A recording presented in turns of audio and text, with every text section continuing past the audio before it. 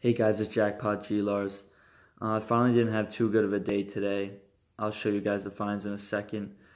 Um, I took videos of them, but I'm not. I'm gonna show um, other videos from around Christmas break. That's why the video is gonna be vertical today, because I held the phone vertical back then, because I'm a dunce wagon.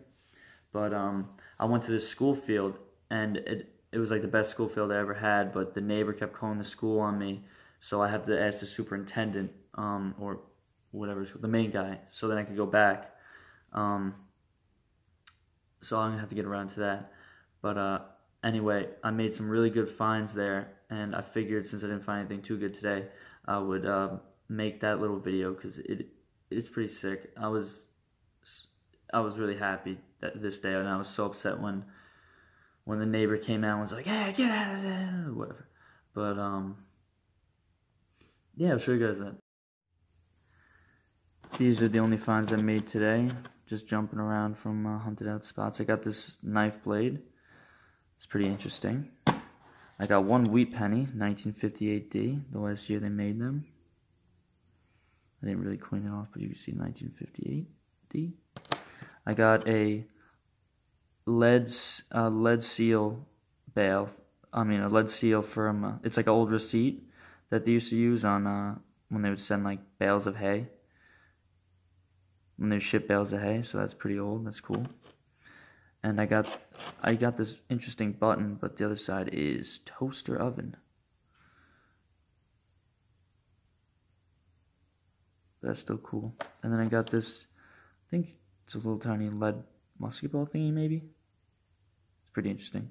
That's really all I got for today. But uh, now to show you guys the really cool video it's silver on silver on silver on silver. Get ready.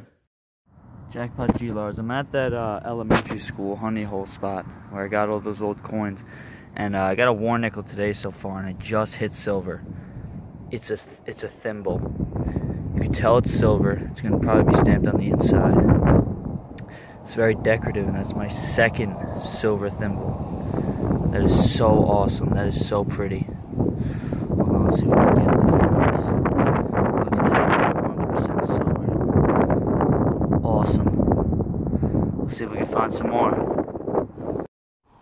Jackpot G-Larz. I'm at that um, field by the uh, by a library where I kept getting Indian head pennies and uh, buffalo nickels and war nickels, and I finally just got silver, and it's a really cool one.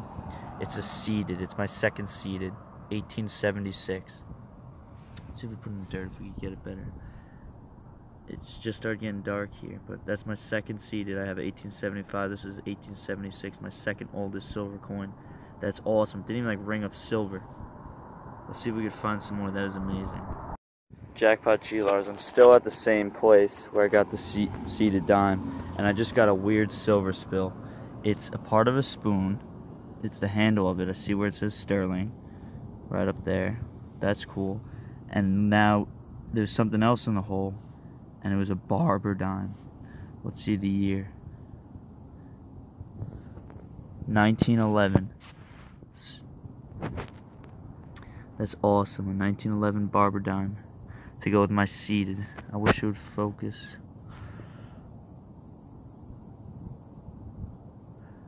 Pretty cool huh? Let's see if we can find some more these are the fines all cleaned up. You can see how shiny that barber dime is. It's in amazing condition. The seated dime's a little rough, but it's still sick.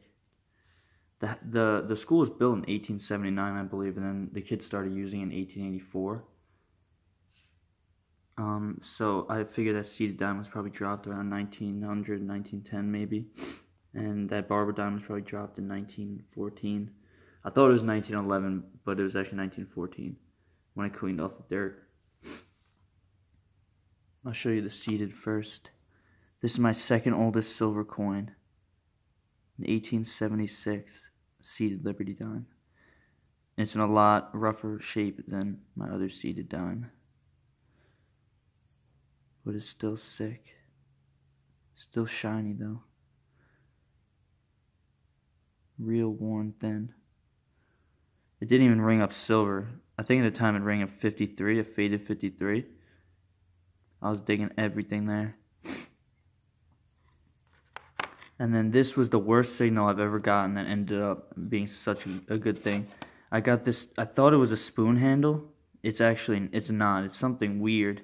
It's got iron on the inside. And it had like an iron, like crusty knob coming off. And uh, like, and it was ugly, so I just broke it off because it was like taking over the silver and like splitting the silver you could see there. But um, it says sterling, right? Sterling, and then on the other side it also says sterling. It's so it's it's weird. It's like a a really thick plating. It's like a hollow sterling handle with like iron inside. So I have no idea what that could be. If you guys know, let me uh, comment. That'd be very helpful. And then mixed with that, so that signal was a 55 to 75 signal. And then I got this first. And I, I thought maybe there'd be more pieces, so I put my pinpointer in the hole. And it, I had something in the, bottom corner of the hole, and I flicked it out, and it ended up, and this popped right out, and, and I was like, no way. I was so hyped. A 55 75 signal turned out to be this. It's a 1914 D, and this dime is in amazing condition. It's got a couple little scratches. I didn't rub it or anything. Just came out so clean.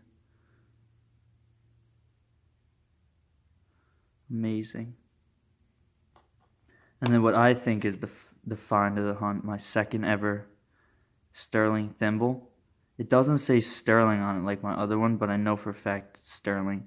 This was like 10 inches, 11 inches down, and it rang up a really faded 80 to 90.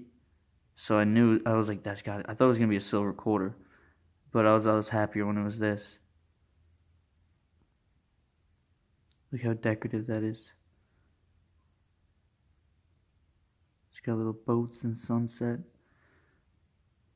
It's got this the size. It's smaller than my other thimble, but it weighs more because it's thicker. It's perfectly round. It's pretty amazing. All those boats. It's like a little castle thingy. A little lighthouse. That's probably what it is in a house on a hill. That's amazing. This is probably this is probably older than this is probably around the mid 1800s then if it's not stamped. Amazing. Well, I hope you guys like those silver finds. I really, I, it was, this was probably one of my best hunts ever. I had a great time. I hope you guys liked the video.